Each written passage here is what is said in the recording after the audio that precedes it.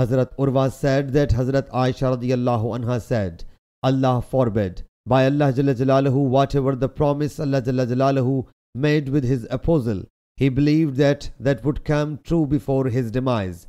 But the apostles have always been put into trial, which made them fear lest their companions should belie them. Hazrat Aisha radiallahu anha read the alphabet Dal and Kadhibu by doubling it. Sahih Bukhari, Hadith number 4525.